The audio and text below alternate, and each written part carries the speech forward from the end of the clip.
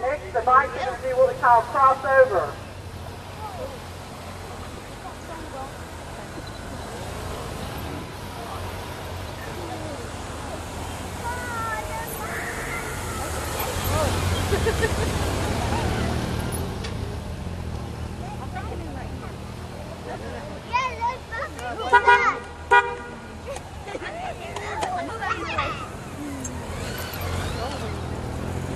The guys are setting up for what we call our 45 degree crossover.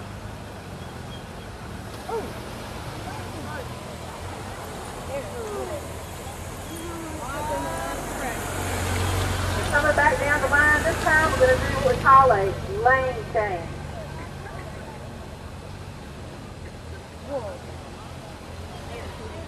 Now guys, this next maneuver they're setting up for is what we call confusion.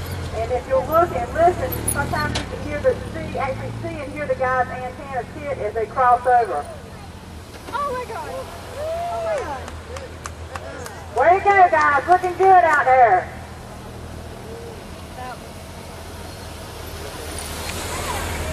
And now we're coming into one of their all-time favorites. This is our figure eight. Almost like being in a demolition derby. Lord. No way, Jose. no way. Not enough money in world. Mama just really scares me.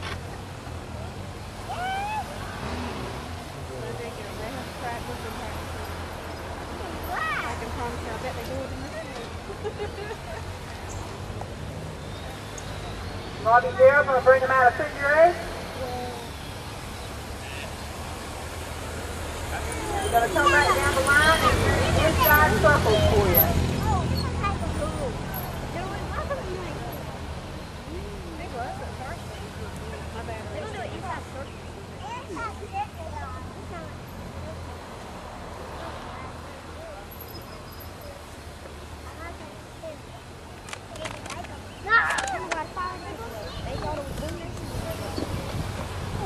From the inside circle, they're going to do an outside circle.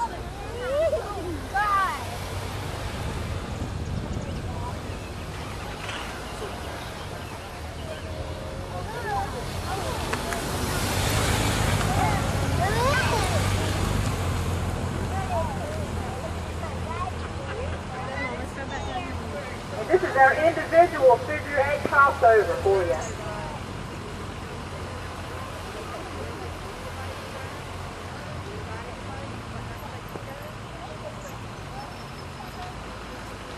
And they're coming back down the field for you in what we call our wedge formation. Aren't they pretty?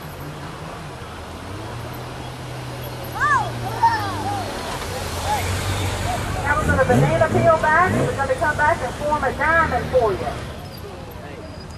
And there they are, ladies and gentlemen, a diamond in the rough.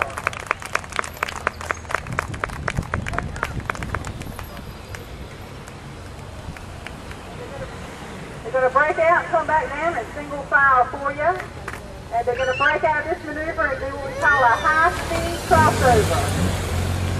Get it, boys, get it.